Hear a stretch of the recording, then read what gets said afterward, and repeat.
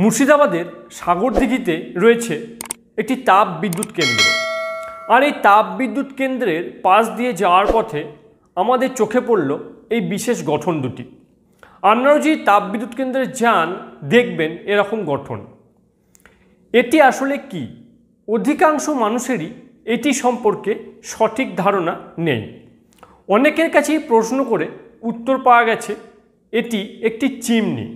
আবার অনেকে বলেছেন এটি একটি চুল্লি, যার মধ্যে কয়লাকে পুড়িয়ে তাপ শক্তি উৎপাদনের মাধ্যমে তাপ বিদ্যুৎ উৎপাদন করা হয়।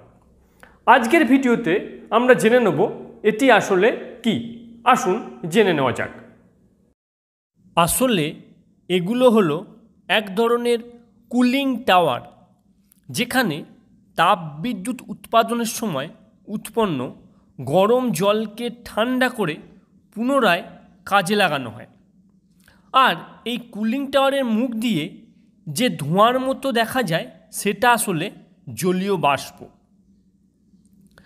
তাপবিদ্যুৎ কেন্দ্রে কয়লাকে পুড়িয়ে তাপ সৃষ্টি করা হয়। এই তাপ দ্বারা জলকে উত্তপ্ত করে বাষ্পে পরিণত করা হয়। উচ্চ চাপে সেই বাষ্পকে টারবাইনের মধ্য দিয়ে প্রবাহিত করে টারবাইন ঘুরিয়ে বিদ্যুৎ তৈরি করা হয়। এই টারবাইনের মধ্য দিয়ে প্রবাহিত হওয়ার পর বাষ্পটিকে একটি কন্ডেন্সারে পাঠিয়ে ঠান্ডা করা হয়। এই সময় জলীয় বাষ্প ঘনীভূত হয়ে যে গরম জল উৎপন্ন হয়, তাকে ঠান্ডা করে পুনরায় ব্যবহার করার জন্য এই কুলিং সিস্টেমটিকে ব্যবহার করা হয়। আপনারা এই ছবিটিতে খেয়াল করুন।